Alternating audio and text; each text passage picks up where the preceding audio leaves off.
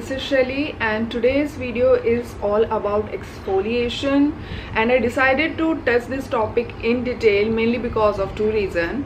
Firstly most of the time many of us are not aware like what's the right kind of exfoliator we should be using for our skin type and concern. And secondly many times we end up overdoing it with which in the long run can be really damaging to our skin since this is such a vast topic I decided to break it into two parts. And in this video that is part 1 I will be focusing on like why you should be exfoliating and what's the problem when it comes to exfoliation.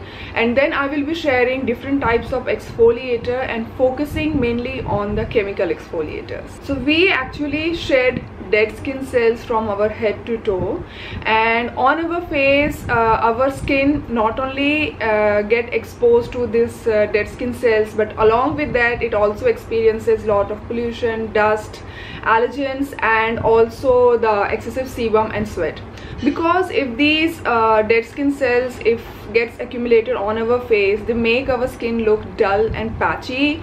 And also they can hamper or interfere the proper absorption of the product that you are using. And finally and very importantly these dead skin cells are the major culprit behind breakout like what happens is uh, when these dead skin cells enter our pores and get mixed up with the sebum they result in the formation of blackheads and whitehead. Uh, like this uh, clogged pore if it is an open one that looks like a blackhead something like this. And if this clogged pore is a closed one that looks like a whitehead. And if the bacteria enters this whitehead it results in inflammation and therefore breakout so this is why everybody stresses on the fact that exfoliation should be done and uh, it will keep your skin healthy and overall in a good condition. So the next question which comes is uh, like if the exfoliation is so amazing it is so helpful for our skin then where is the problem? The problem is that we end up overdoing it like unknowingly like i have done it too we sometimes end up using two or more exfoliating products in the same skincare routine or sometimes like unknowingly we are uh, doing it on a daily basis. So this in the long run can be really damaging to a skin. Like it can result in redness irritation more breakout more dryness dehydration dullness. And like at worst case it can give you that very painful stinging skin. This is actually I feel that why we are overdoing it it's because of the pressure from everywhere. Like everybody just says exfoliate exfoliate to get that glass skin to get that smooth skin. Like it is the only solution in the world to get the best skin but that's not true. If you have to get a proper a good skin you need to have a holistic approach. Like it includes a lot of things. So anyway let's not go off the topic. So coming back to the topic uh, we have three different kinds of exfoliator the physical chemical and hybrid one. And like i said in this video i will be focusing mainly on the chemical exfoliators. So chemical exfoliator get rid of the dead skin cells by dissolving or melting away the dead skin cells on our face so we have four different kinds of chemical exfoliator.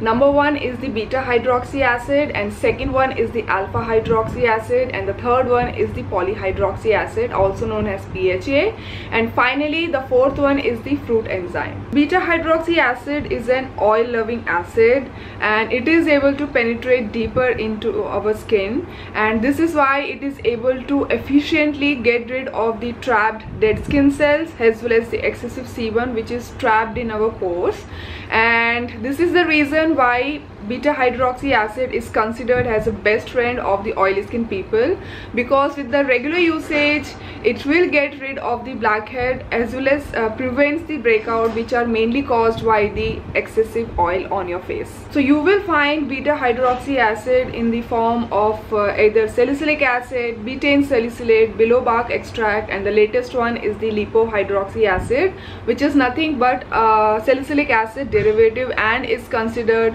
very mild and many people say that even the sensitive skin can use it. Like i have not still tried out the lha let's see if i do in the future. I will definitely share whether my skin liked the LHA, LHA or not. Now I will be sharing some of the BHA products that different skin types can use it. So the first product is the Koelcia Lime Co Cleansing Oil. It contains 0.1 percentage of lime extract and willow bark extract has its key ingredient to help clean out your pores.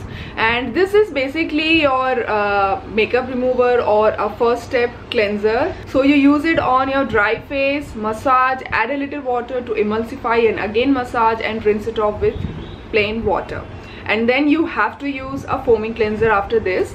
So why I decided to include this like if you are somebody who cannot use uh, BHA in your product and BHA dry out your skin so this is the product which you can use on a daily basis to clean out your pores and keep your skin healthy. Next are the BHA based cleanser. And I have here a very famous Cosrx low pH good morning gel cleanser Inkey List salicylic acid cleanser and finally the Jumiso cleanser. So all of these cleanser contains beta hydroxy acid and this is why they are perfect for the oily skin people.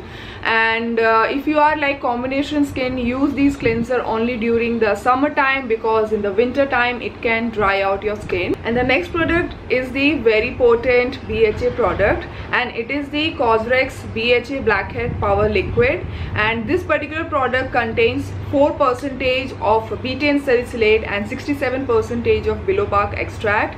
And this is why it is ideal for the oily skin people. Like if you have oily skin use this uh, like start with once in a week. And if your skin permits you can build it up to three times per week and use it at night only and if you have like normal dry combination skin use it only one time per week. And if you have sensitive skin avoid this exfoliator. This is not for you. So use this uh, product after you have cleansed your face. Take a little on cotton puff and swipe it across your face. And then you can move on to your hydrating toner serum and moisturizer and next set of acids are from the AHAs and AHAs are the water loving acid and they are only able to work on the skin surface. That is why they are effective only in getting rid of the dead skin cells that is only on your skin surface. So if your uh, key skin goals include like getting bright smooth skin getting rid of the acne scar and getting rid of the whiteheads then AHAs are the right acid for you so there are six different kinds of AHA.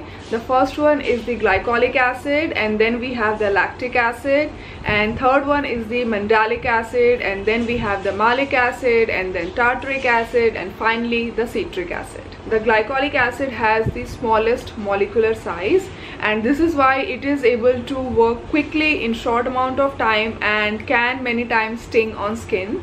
But as you move down from top to bottom the molecular size of the acid increases and therefore their potency decreases. So if you have issue of sensitivity or if you are the beginners you should be focusing on the uh, lower acids because they are sensitive skin friendly and do not often sting on your skin. Now I will be sharing all the AHAs based product but one thing I want to say that uh, make sure you're using any one of these AHA and you're using them at night and do not use them daily. So the first one is the Cosrx AHA Whitehead Power Liquid. This contains 7 percentage of glycolic acid and this is why it's not that beginner friendly uh, but is very effective in getting rid of whiteheads and giving that smooth bright skin.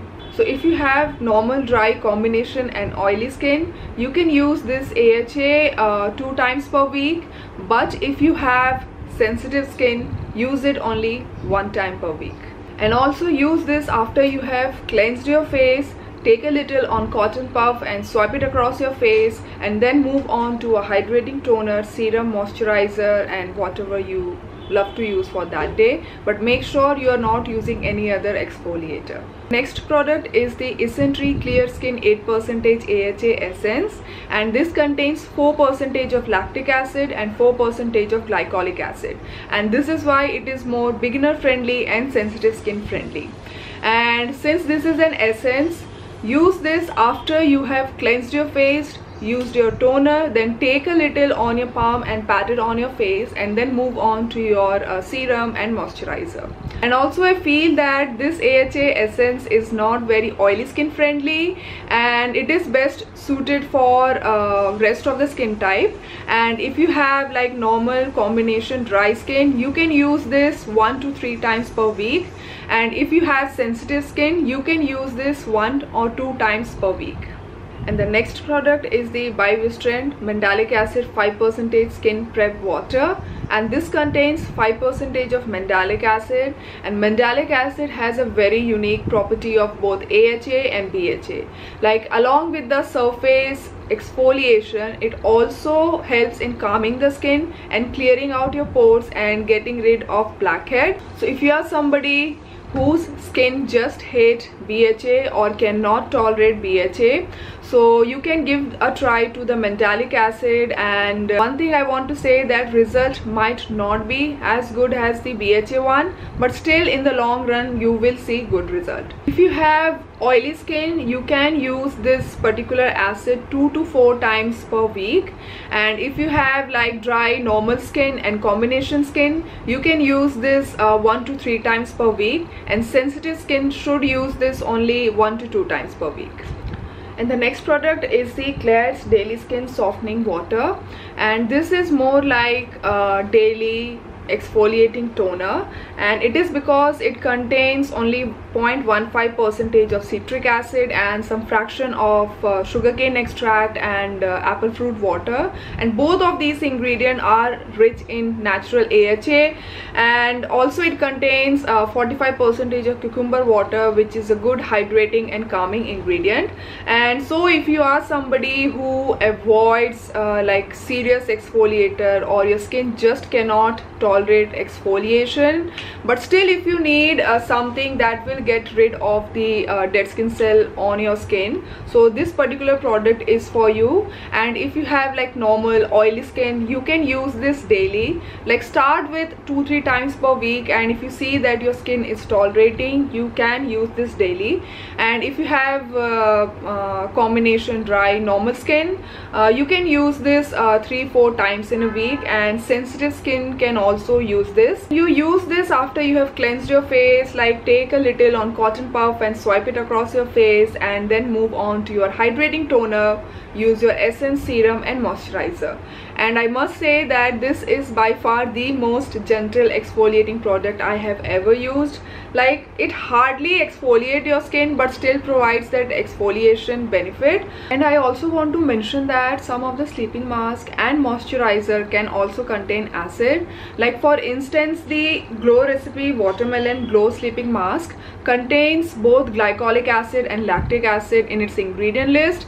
And so I will suggest that you don't use it daily and can use it like three maybe maximum four times in a week. And the Nakeup Face 10% AHA scaling cream contains 10 percentage of glycolic acid and so it is recommended that you do not use it daily. Like if you have normal dry and combination skin you can use it one to two times per week at max on your entire face. And if you have uh, sensitive skin like me use it as a spot treatment on your acne scar maybe three four times per week at night and gradually you will see that your acne starts like they start fading away. So a very common thing which I often get asked is uh, can we use AHA and BHA in the same skincare routine? And I will suggest do not do this mistake because in the long run you will end up damaging your skin.